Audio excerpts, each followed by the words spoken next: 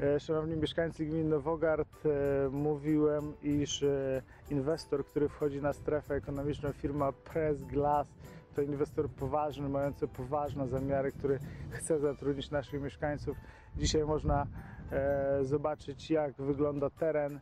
Tu niedawno było ściernisko, a trwają prace przygotowawcze, wyrównanie terenu. Firma składuje już swoje materiały na placu budowy i mam nadzieję, że niedługo rozpocznie się mm, e, faktyczna budowa e, zakładu. E, Firma jest gotowa w każdej chwili ją rozpocząć. Czeka na stosowne pozwolenie mm, na budowę z powiatu goleniowskiego. E, Jak e, pozyskałem informację, firma wniosek o pozwolenie na budowę e, złożyła e, niemal dwa miesiące temu, e, bo 20 mm, listopada w związku z tym jeszcze dzisiaj wystosuję oficjalną prośbę do pana starosty, aby w jak najszybszym trybie wydać pozwolenie na budowę, żeby umożliwić pracę naszym obywatelom i rozwój gospodarczy gminy Nowogard. Mam nadzieję, że niedługo tutaj te miejsca pracy dla Państwa będą uruchomione. Wszystkiego dobrego. Dzień dobry, Maciej Bugaj, firma Pressglass.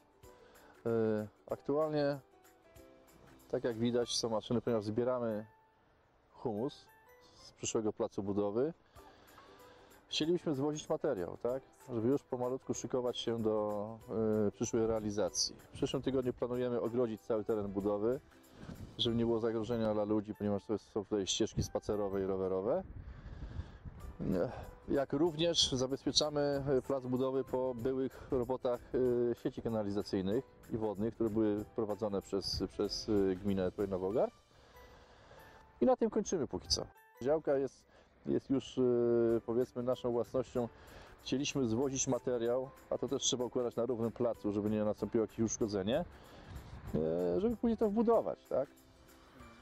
Nic poza tym. No, no, roboty zabezpieczające i, i i, i równanie terenu, ponieważ tak jak widać są tutaj rowy odwadniające, które mają tutaj, y, jak widać, y, koniec przy, przy mostku.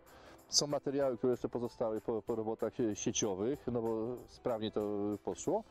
No i, no, i, no i czekamy, aż będziemy mogli rozpocząć roboty stricte.